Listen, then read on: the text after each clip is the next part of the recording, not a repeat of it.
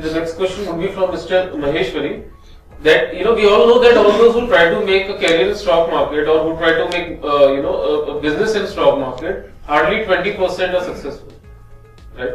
Uh, 80% actually lose. So, what are the defining factors? What are the defining factors you think which will make a person successful? Because you already have experience, you know, managing a large team and you're a very very famed trader. Everyone knows.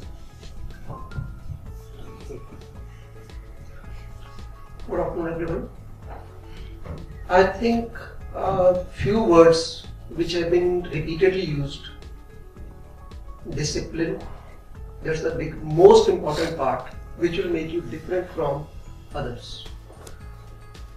It is true that uh, rather not 20% successful people, it's uh, less than 5%.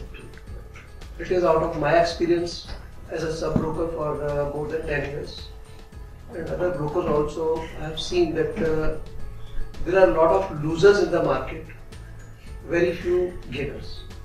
And what makes them different is the discipline, patience, and persistence. These are three words I'll use for particularly for algo trading. You design a algo system, you have to give it a, enough try. It, it just may happen that you start it today and your first trade may go wrong you should not be disheartened. Because if you have designed it properly, if you have taken a complete back testing, then you should have faith in the system. One part is algo should be whatever you design, it should uh, be applicable across a wide spectrum. The algos I work, they work across particularly uh, in general in all markets. I use same algo in commodities, currencies, and equities and I'm quite happy with that.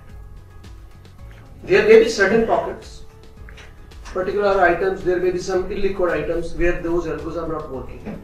And I have seen that uh, certain items in say commodity spectrum, one or two commodities are such that that algo will not work. Maybe after 10 years I am I am still using it. I am still applying that algo. I am maybe with a lesser quantity. I keep on changing my quantities based on the results.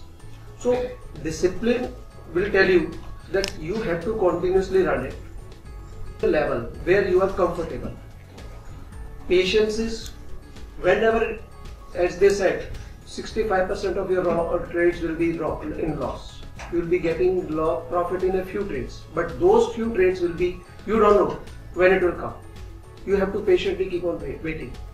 I have seen for two or three, uh, rather one and two years, when we had a not new highs, particularly because the market was in a very uh, consolidation phase. Say 2013 was very good, 14, 15 we had a very slow period, 14, 15, 16, and again we were we were uh, not losing much, but we are not touching new high.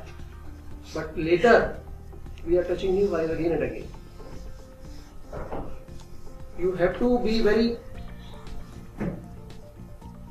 sure about your system that it will work.